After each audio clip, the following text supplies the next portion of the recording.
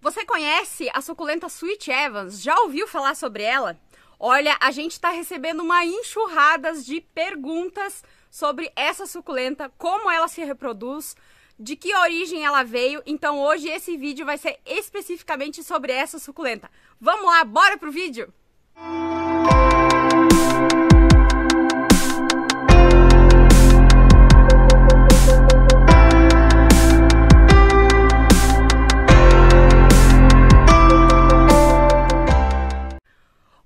pessoal, sejam muito bem-vindos a mais um vídeo aqui do nosso canal Universo das Suculentas e dos Cactos. Como você viu aí na introdução, hoje o vídeo vai ser especificamente sobre a suculenta Sweet Evans. Isso daí, nome bem diferente, né? Mas ela, essa planta, ela é uma planta híbrida, uma suculenta híbrida.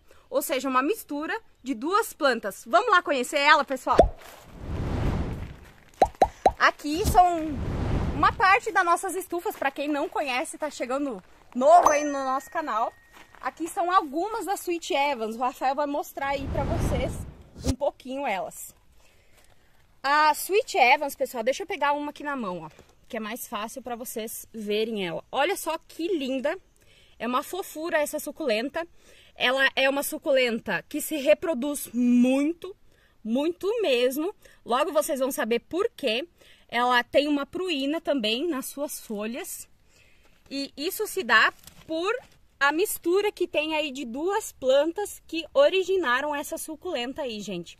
Olha só que linda, que charme que tem essa suculenta aí. Mas, então, de quais foram as duas plantas, quais as duas misturas que originaram, então, essa Sweet Evans? Olha só, pessoal, vou mostrar aqui pra vocês, ó. É a mistura dessas duas plantas aqui, ó. Uma Echeveria laui, lindona que todo mundo ama, né? Pruinosa, olha aí, ó. Lindíssima. E a outra é a Echeveria.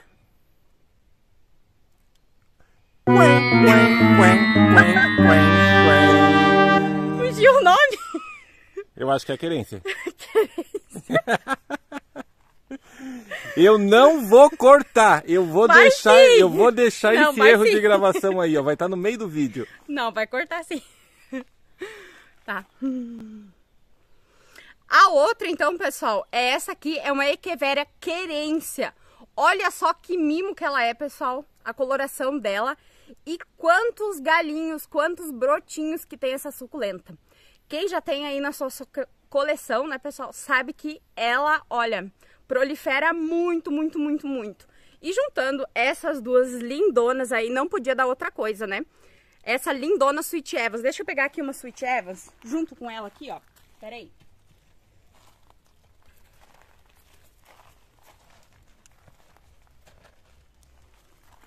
Olha aí, ó, pessoal. Então, a mistura da Sweet Evans, a mistura da Laui, desculpa, com a querência, originou aí a Sweet Evans. Olha só que lindona a coloração aí, ó, da querência, ela com a pruína da Laui e a proliferação aí da querência. É por isso que ela é uma planta que reproduz tanto.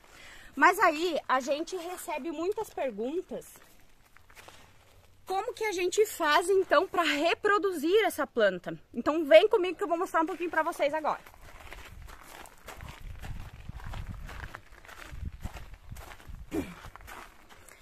Aqui, pessoal, nessa parte aqui, nessa partilheira que a gente tem aqui, vocês podem ver esses potes todos são de Sweet Evans.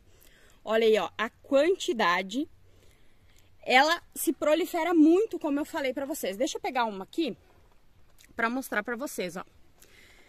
Elas estão no pote 11, ó. Os brotinhos dela vindo.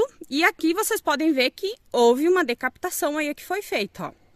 Pra você reproduzir aí a Sweet Evans, se você já tem aí na sua coleção, o que que você vai fazer? Você pode deixar ela aí no pote 11, onde ela já está plantada, ou você pode colocar ela num pote maior, se você preferir plantar mais quantidade juntas, como for a sua preferência. Mas sempre quando você for fazer a decapitação dela, nunca tire os filhotes muito pequenininhos assim. Sempre procure tirar a planta maior, a cabeça maior, que era já a planta mãe, e deixe os filhotes crescerem, se reproduzirem mais. E olha aí, a gente já pode ver o resultado aí da decapitação, ó. tá vindo filhotinhos aí, ó. Deixa eu virar mais aqui. Aí, ó. Já temos um bebezinho aparecendo lá, ó. E assim ela vai se produzindo, se reproduzindo, né?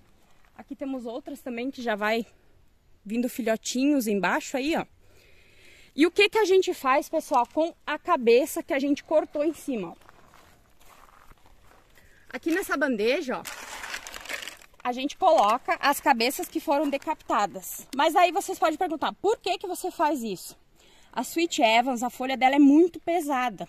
Como ela é uma mistura da Laui, a Laui ela tem a folha muito gorducha e a Sweet Evans também tem a folha bem gorducha dela.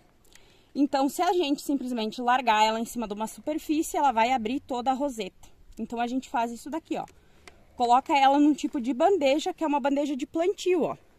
Então, ela vai ficar com a rosetinha dela fechadinha, perfeitinha, olha aí, ó. Para você poder depois fazer o plantio dela. Quando você fizer a decapitação, algo muito importante, ó. Espere cicatrizar aqui esse corte que foi feito, no mínimo três dias, pessoal, para depois você fazer o plantio, para não correr o risco de você perder aí a sua planta.